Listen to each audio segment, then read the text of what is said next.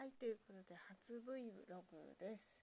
えっ、ー、と今日はアバターを一生懸命ここのところ作ろうと思っていたのですが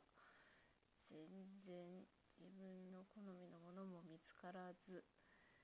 そしてうまいこといかずという形で今 LINE の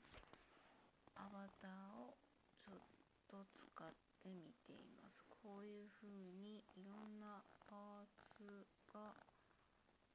自分の好みに設定できてなおかつ本来ならばこの子が私がしゃべるのと一緒に口とか動かしてくれるといいんだけどと思ったんだけれどもなかなかスマホだけだと難しいのかなかなかでありましてこのような形になっています本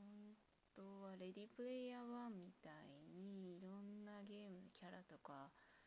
アニメとかあとアーティストとかの何かこうキャラクターみたいなものが使えるようになったりとかしたら楽しいなと思ったりした昨今です。YouTube 公式とかでもオリジナルで何かこう顔出ししなくてもできるようなアバターみたいなのが作れたらありがたいなぁなんて思ったりもしました。でえー、っとそんなところでスマホばっかりなので縦長の画面になっているのもまた気になるので古代横長横長のワイドな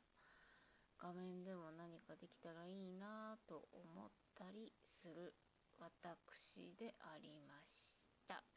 以上。